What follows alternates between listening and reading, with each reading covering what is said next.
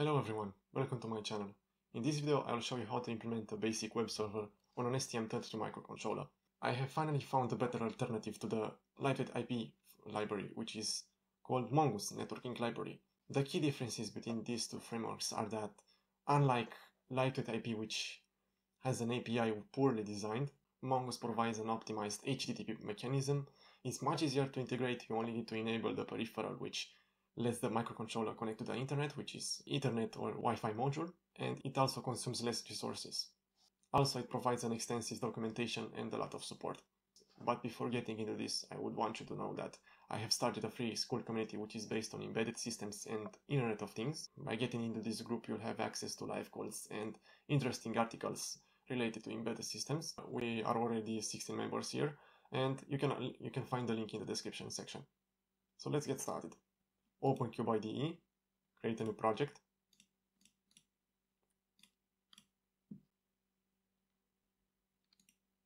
The board that I will be using is Nucleo F756ZG. So I'll choose it. Then I'll choose a name.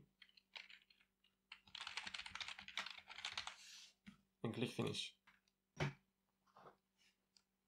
Now I'll clean the pinout choose an oscillator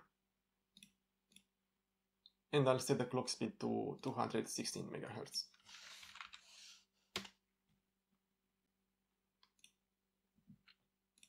Enable the serial wire in the debug tab, then enable the UART for debug purposes. And you must reconfigure the pins for this board because the PD8 and PD9 pins are directly routed to the ST-Link port.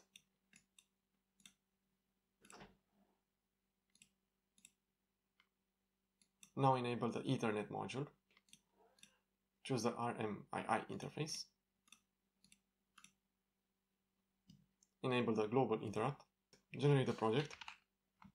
And to include the library that I was talking about, you just need to go to GitHub and copy only two files. So right here, Mongoose GitHub. Go to this link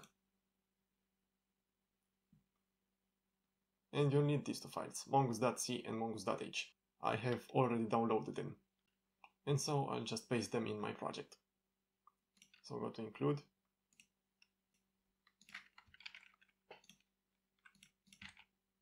And also for the source file.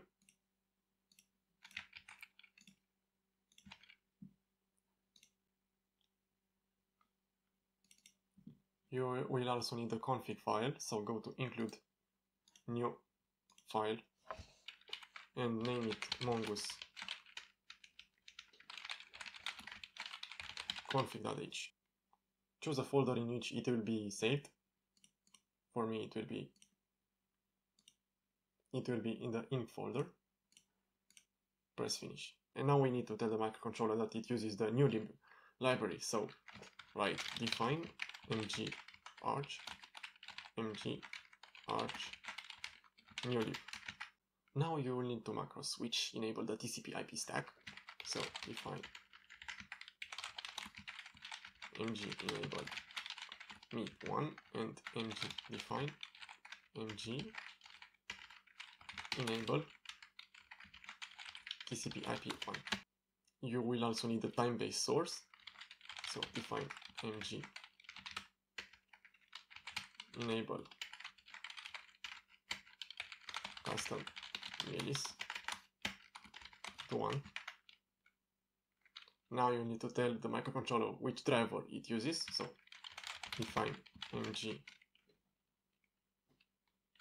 enable driver STM32F and now you can just enable the rating of the debug stats with define mg enable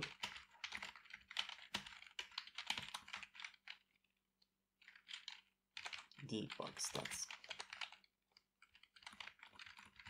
That's it. That's all you need. Now go here and include the libraries.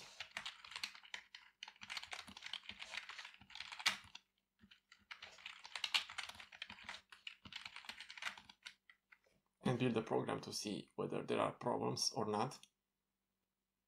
And we get some errors. It's because of the redefinition of the Ethernet. So just go to the IT file and change the name of the function. I'll put here v. Now build the program again and we get no errors. At this point you have everything set up.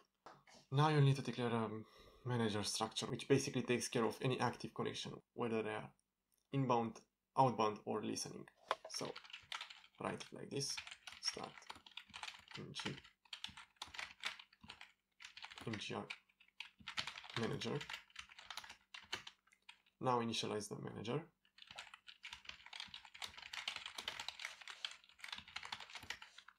And also set the log level.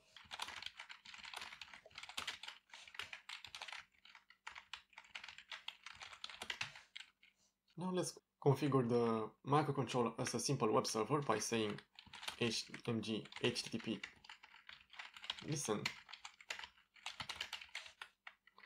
Which takes the address of the manager. Then the URI which will be http 0.0.0 or 80 then the address of the event handler which will be called upon any event and then additional parameters we don't need them so just pass null now you need an event loop which constantly is looking for any new events and passes that event to the respective event handler. So mg mgr all manager. And then the timeout, let's say 100 milliseconds. Go back to mongoose config.h and let's declare the IP gateway and the mask. TCP IP IPv4 off. Let's choose an IP.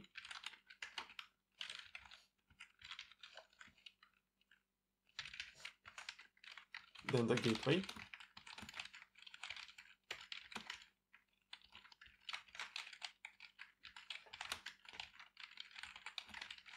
Since I have connected my board to a Ethernet to USB converter, I have to input the IP of the converter.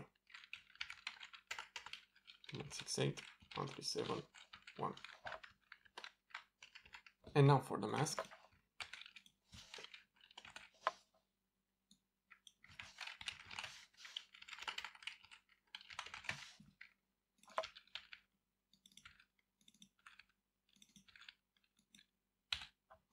Now let's declare the event handler and the mgmilis, which will be used as a time-based source by the microcontroller. So right here,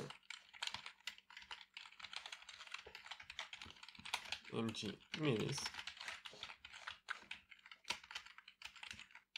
which will return the current tick value.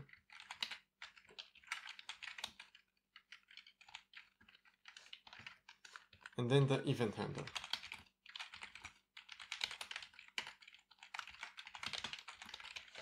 First parameter is the connection structure.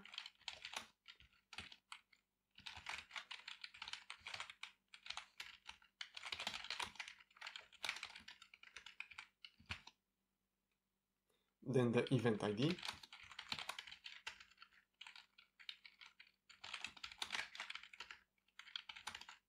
And then additional arguments.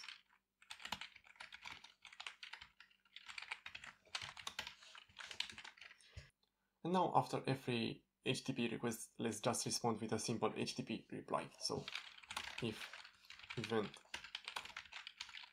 ID, ID equal mg event HTTP message, we will just respond. So mg HTTP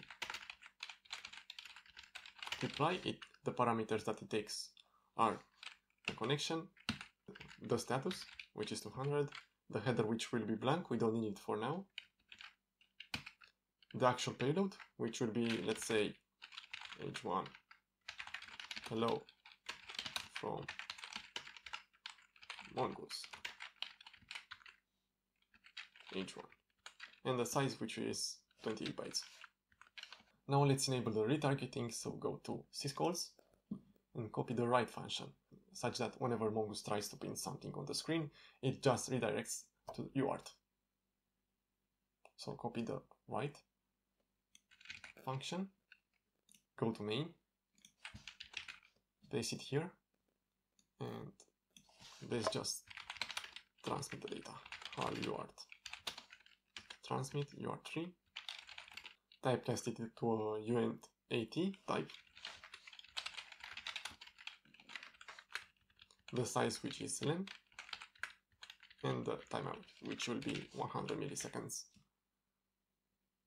Also, there is one more thing to do. We need to reconfigure the Ethernet pins because ST doesn't set them properly. So open the IOC file again and enable the PG11 and PG13 for the Ethernet module. Enable the RMII interface again and set the global interrupt. Generate the code. Go to the interrupt file and change the name again. Now flash the program and open the RealTerm to see what we're getting on the terminal.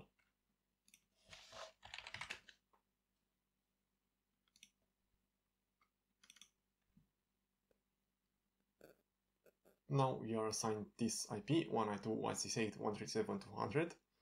Open the browser and type it. And we're getting hello from Mongoose. So that's it for today guys. I hope you enjoyed this video of learning how to implement a basic web server on STM32. Let me know down in the comments what you think about this framework and whether you like to see more complex projects which involve MQTT, UI dashboards and so on. I'll see you guys later.